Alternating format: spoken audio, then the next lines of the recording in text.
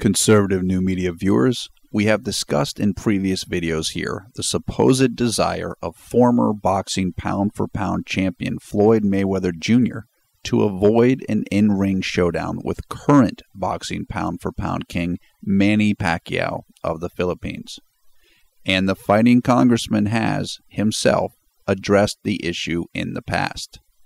Well, Pacquiao just made his opinion very clear in a new interview with John Martinez of BoxScoreNews.com.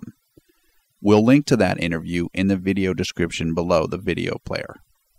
Said Pacquiao, quote, I really want to fight Floyd Mayweather, but it is obvious that he wants no part of me because he is ducking every way to fight me, so that is why I am fighting Shane now. Unquote.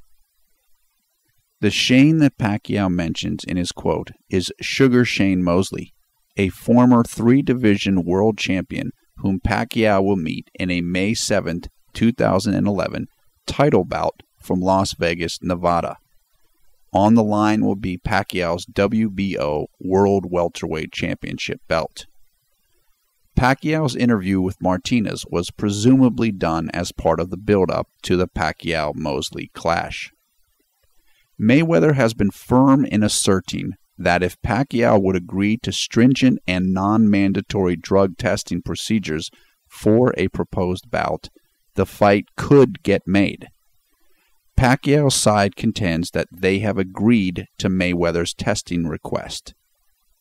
The two men are currently locked in a legal battle surrounding a related matter. Pacquiao sued Mayweather and several of his associates for defamation in 2009. The suit alleges that Mayweather and his associates maliciously accused Pacquiao of using PEDs, or performance enhancing drugs.